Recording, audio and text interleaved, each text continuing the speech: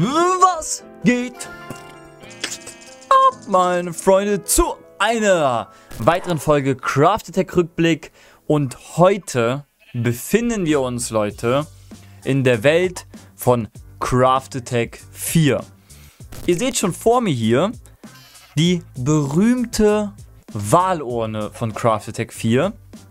Und zwar war Craft Attack 4 die erste Staffel, in der es so richtig mit Roleplay in Craft Attack losging. Zu Beginn für meinen Geschmack noch lustig gewesen, aber später hat das in eine sehr, äh, für mich sehr stark extreme Richtung entwickelt, wo ich keinen Bock mehr drauf hatte. Aber das mit dem ganzen König, diese ganze Roleplay-Geschichte, wo ich noch involviert war, das war alles sehr lustig. Daran muss ich mich immer zurückerinnern, wenn ich an Craftec 4 denke.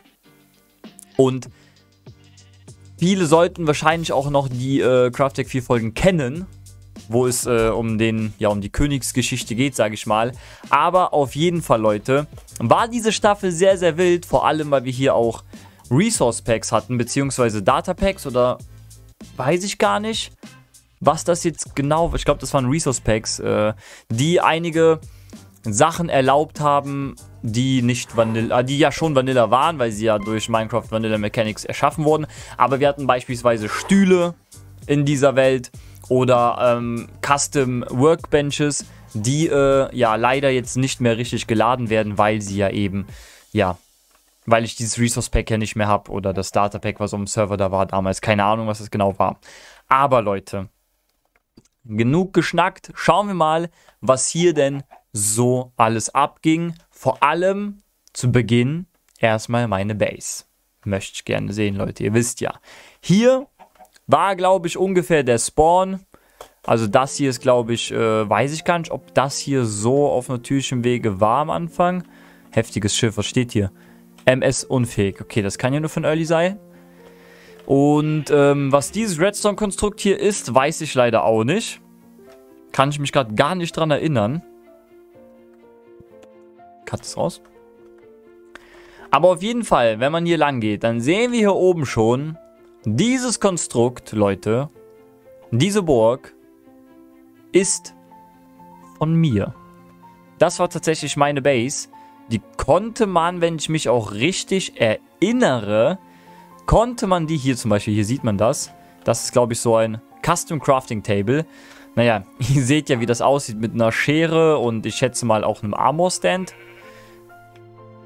Hallo? Ja, ich schätze mal mit einem Armor Stand und so wurde, hat das der Halbzwilling, der Noah hat das damals gemacht und das war alles äh, eigentlich relativ nice. Ähm, wie kann man nochmal hoch zu mir? Ich glaube, das war irgendwie hier. Genau, guck mal, hier haben wir das schon. Das heißt, das ist von Balui die Base. Das heißt, wenn man hier lang gelaufen ist, dann kam man zu meiner Base. Ah, ich habe Auto-Jump an, nice. Und wieder mal erblicke ich meine Gebäude an, meine Sachen, die ich gebaut habe und denke mir nur so, was habe ich mir dabei gedacht? Warum habe ich so viel mit Cobblestone vor allem gebaut? Also wirklich Cobblestone, Oakwood, also richtig, richtig stunny. So, und dann kommen wir hier. Ich glaube, das hier, liebe Freunde der Sonne, ist von Eve. Oh, guck mal, Weihnachtsgeschenke. Schöne Festtage wünscht G-Time. Oh, gönn, gönn. Frohe Weihnachten wünscht Polizeichef Early Boy. Genau. Oh, Nether. Early, das war wahrscheinlich für Early. War das krass, dass er damals zwei Netherrack hatte. Und ebenfalls alte Textur. Die ist so hässlich, ne? Und, ähm, Zinos, Alter, Emeralds hatten ja auch eine ganz andere Textur. Lol. Wild, Leute, wild. Das ist aber auf jeden Fall, glaube ich, von ähm, Eve die Base, wenn ich mich richtig erinnere. Ich freue mich auf das Picknick, gelbe Blume. Ich glaube, das ist tatsächlich von, ähm, ja, von Eve die Base und der ein oder andere Zuschauer, der damals Craft 4 miterlebt hat, der weiß, Rotpilz Eve, goldene Hochzeit, dieses Ananas und Leute, ich sehe schon, da oben ist der Spawn. Das war die erste Season, wo wir eine fliegende Insel als Spawn hatten. Da fing das alles an und mit den Elytra Launcher von dem von der ähm, vom Spawn und so. Das war alles hier äh, hatte alles hier ihren Ursprung gefunden. Ja, hier war eine fliegende Insel. Hier habe ich mein Holz gezüchtet. Hier steht auch JBs und Kungas Insel. Ich glaube, JB hat diese Staffel nichts gebaut. Ich bin mir nicht sicher. Äh, I don't know. Aber hier habe ich auf jeden Fall, ähm, ja, wie ihr seht, Fichtenbäume gezüchtet, die noch nicht so einen hässlichen äh, Grasboden um sich erzeugt haben. Aber die Textur ist auf jeden Fall noch alt. Die ist noch sehr dunkel. Also es war ja bis jetzt in Craftec 1, 3 und 4 ist das jetzt so, aber ich nie aktiv erwähnt. Aber das Holz ist hier noch so dunkel und ein äh, bisschen Hässlon, muss man sagen. Ja, und hier auch JB's Kongas Insel. Ja, Leute, da, hier ist die Kirche. Goldene Hochzeit, sage ich nur. Naja, aber gehen wir erstmal viel wichtiger. Gehen wir erstmal meine Base abchecken. Was habe ich mir diese Season wieder erlaubt zu bauen, ohne mich zu schämen? Haben wir hier irgendwas versteckt, ich kleiner Gauner? Aha.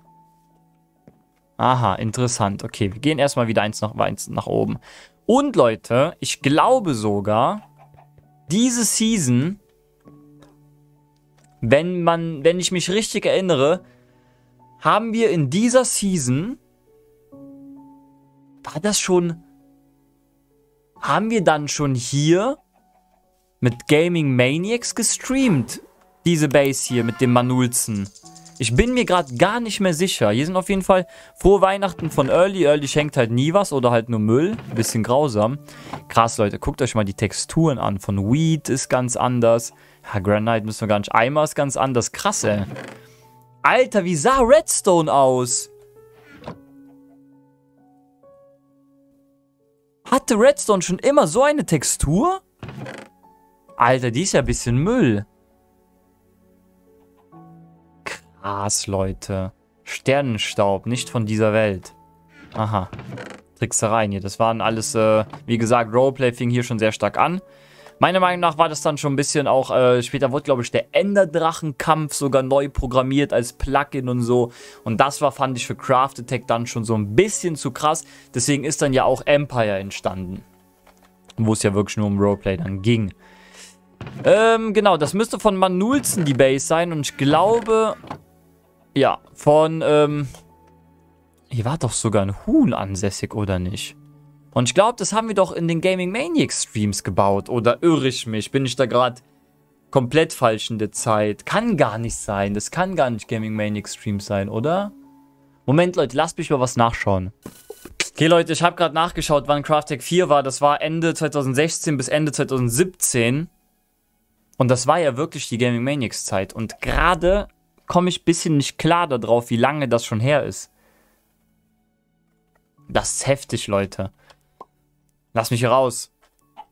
Gut, Leute, aber ich habe nicht umsonst hier mir Forge installiert und die Replay-Mod. Ich würde sagen, bevor wir in meine Base gehen, gibt es ein paar Timelapses.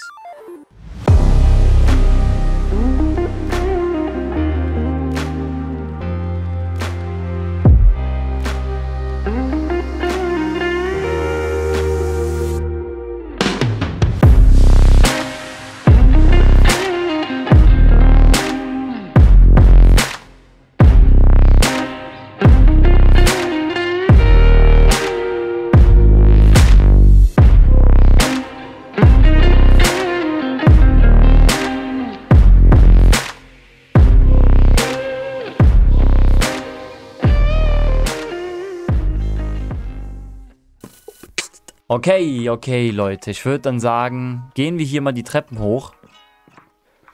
Und schauen, wo wir hier landen. Also das war die Base von Manulzen. Die haben wir tatsächlich während Gaming Maniacs auch gebaut. Ich finde das krass, dass in dieser Zeit so viele neue Staffeln gekommen sind. Wild, Leute, wild. Aber auf jeden Fall gehen wir erstmal hier den Tower hoch.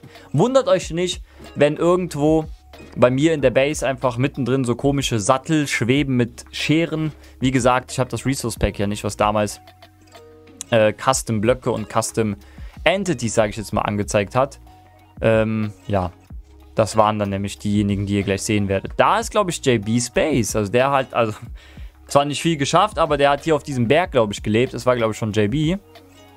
Schade, dass der nicht so viel gemacht hat, die letzten beiden Seasons, wenn ich das richtig gesehen habe. So, und hier kommen wir rein, Leute. Hier ist mein Hundi. Was geht ab, Hund? Du kannst mitkommen. Ich erlaube dir.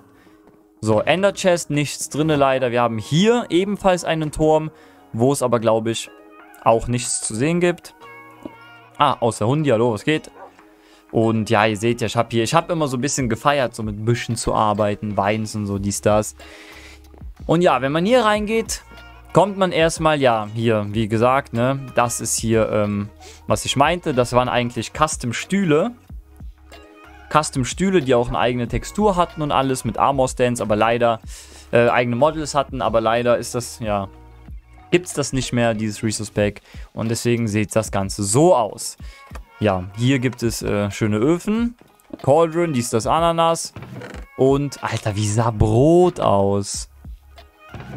Heftige Texturen damals gewesen, Leute. Heftige Texturen. Genau, dann war hier die Brücke zum JB. Oh nein. Aha, guck mal eine an. Schön. Oder? Heftig, wie ich gelebt habe einfach.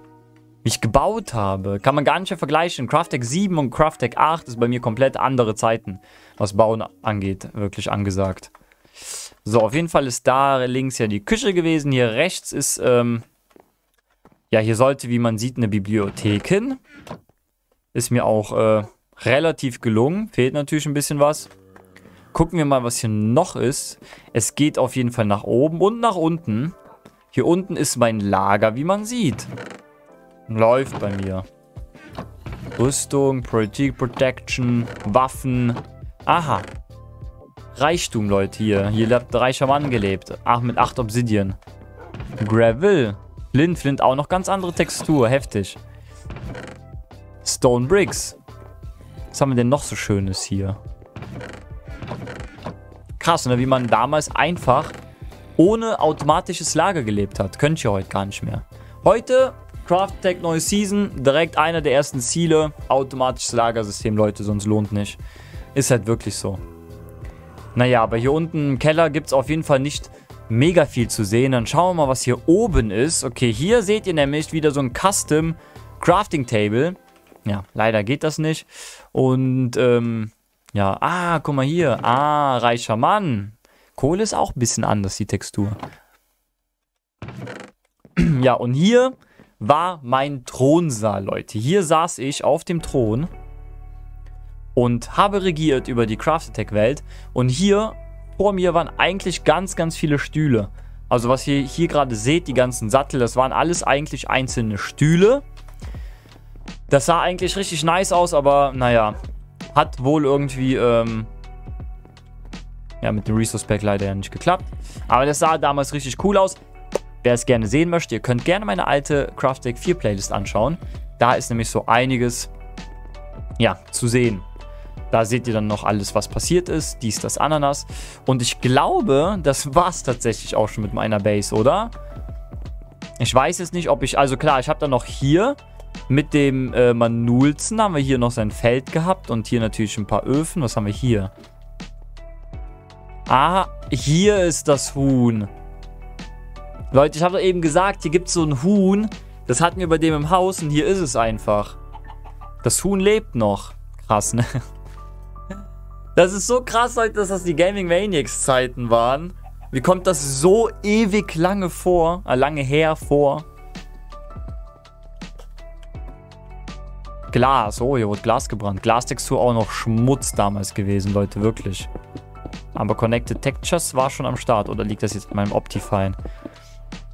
Keine Ahnung. Auf jeden Fall Glas viel zu... Viel zu viele Punkte. Ja, und dann hatten wir hier das Feld. Das Feld des Nullzens. So, und jetzt frage ich mich, habe ich noch hier irgendwas gebaut? Diese Brücke, weiß ich gerade gar nicht, ob die von mir ist. Ich weiß, dass die Eve auch mal hier irgendwo so eine Dirt-Brücke hat, aber die ist weg mittlerweile. Da ist noch so ein Herz. Ja, Leute, und ihr seht, hier auf dieser Welt gibt es auch mega viel noch zu sehen. Im genaueren Darleine Fischermeer. Ich fliege jetzt mal zum Spawn. Ihr seht da auch rechts gibt es viel zu sehen. Und das war der Spawn, Leute. So, was haben wir hier? Was, was kommt hier? Revi 11, Dena 4, Kunge. Ach so. War das das Wahlergebnis? Läuft bei mir auf jeden Fall mit null Wählern. Allium. Gibt es die Pflanze immer noch, die Blume? Weiß ich gerade gar nicht. Ja, genau, Leute. Und hier seht ihr, hier war die ganze Comment-Block-Action am Start. Guck mal, hier sind sogar noch äh, die ganzen Befehle drin. Verrückt. Guten Morgen. Wenn einer gepennt hat. Krass, ne, Leute? Hier ist die ganze Action am Start. Einfach nur wild, Leute. Einfach nur wild. Da hat der Noah sich sehr viel Mühe gegeben, auf jeden Fall. Und ja, Leute, das war's auch eigentlich schon mit dieser Folge. Wir sind auch schon wieder am Zeitlimit angekommen. Wenn ihr, oha, guckt mal da hinten. Gibt so viel noch zu sehen, was ich selber noch alles gar nicht kenne. Weil ich die Staffel ja natürlich wieder nicht bis zum Ende durchgezogen habe. Aber Leute, wenn ihr sehen wollt, was es noch so Schönes hier auf dieser Craft 4 Welt gibt, auch eine sehr, sehr wilde Season gewesen. Die Rote Hochzeit, dann das mit dem König, der Sturz des Königs. Dann kam ja später noch, wo ich dann nicht mehr dabei war, die Mauer. Da war ja dann ja dieser Game of Thrones Hype. Dann haben die das ja hier so ein bisschen nachgespielt, beziehungsweise sich inspirieren lassen davon. Wilde Season gewesen, Leute. Wenn ihr Bock habt, vor allem auch nochmal die Mauer zu sehen. Ich weiß gar nicht, wo die ist. Das wäre mal interessant, die zu finden. Aber wenn ihr Bock habt, das alles zu sehen, das alles zu suchen und mit mir anzugucken, dann lasst es mich in den Kommentaren wissen. Lasst einen Daumen nach oben da, Leute, einen Kommentar. Und wenn ihr neu auf diesem Kanal seid, abonniert ihn gerne, aktiviert die Glocke und ich würde sagen, wir sehen uns dann im nächsten Video oder in einer meiner Streams, Leute. Montag, Donnerstag und Freitag um 18 Uhr bin ich live. Twitch.tv slash Kunga, lasst gerne auch da einen Follow da. Und ich würde sagen, Leute, macht's gut, haut rein. Bis zum nächsten Mal.